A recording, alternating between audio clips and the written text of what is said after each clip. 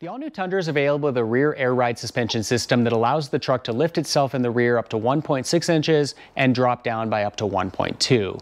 The purpose of lifting it would be if you're off-roading and you want a little bit more ground clearance or if you're trying to clear an obstacle. The purpose of it dropping down is if you've got a heavy load that you're trying to get lifted up into the bed of the truck, it'll ease that access a little bit. It also allows the truck to auto level. Uh, so if you've got a heavy load, or if you're pulling a trailer, uh, the truck will adjust as needed to level out that load. So pretty cool feature. Uh, this system is available as an option on your SR5 and limited models of the Tundra.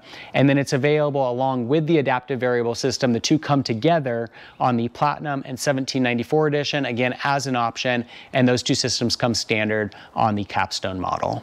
This green light right here indicates the current height of the vehicle. You can see currently it's in normal mode. There's also a high mode and low mode. To put the truck in high mode, we're just gonna push up on this button and wait 30 seconds to a minute.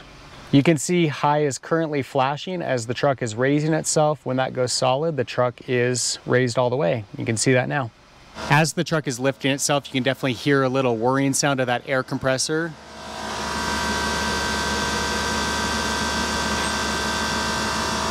and you can visibly see it rising up as well. And now with the air suspension fully extended, you can see that the Platinum here on the right is pretty much sitting at the same height as my Limited here on the left, which makes sense that they'd be about level given that this has that set of 35 inch tires. Another thing that's also worth noting is that with the air ride suspension, if you're in that high setting and you go over 18 miles an hour, the truck is gonna automatically drop it back down to that normal setting as well.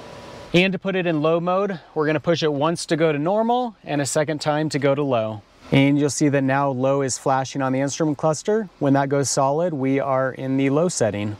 Now you can definitely see the difference in height between these two trucks with the Platinum sitting at that lower setting. It is worth noting that my truck has a set of 35 inch tires, but the suspension is stock in the rear. One thing that is also worth noting is that when you're in this low setting, once you go over eight miles an hour, the truck is gonna automatically re-lift itself back to that normal setting. So there's a look at the new rear air ride suspension system on the all-new Tundra. If this video was helpful or if you enjoyed it, make sure to give it a thumbs up. And for more videos of the all-new Tundra, be sure to subscribe. In the meantime, thanks for watching.